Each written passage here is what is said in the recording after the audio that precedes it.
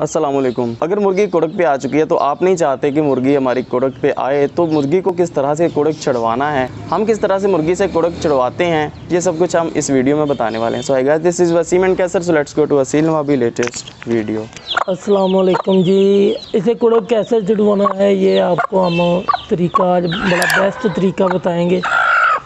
वो तरीका क्या है जी? सबसे पहले तो इसकी जगह तब्दील कर दें। मिसाल के तौर पे ये इधर बैठती है तो इधर कर दें जब अपनी जगह पे जाके बैठे, इसकी जगह वहाँ से इसे उठा दें।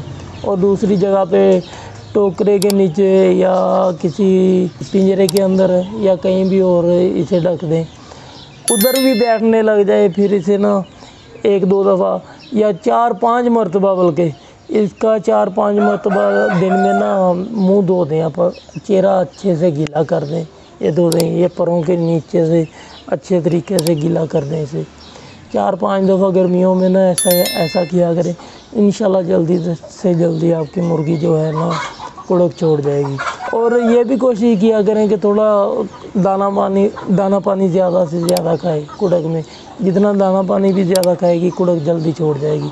ये बड़ा बेस्ट तरीका है जी। अच्छा जी अस्सलाम वालेकुम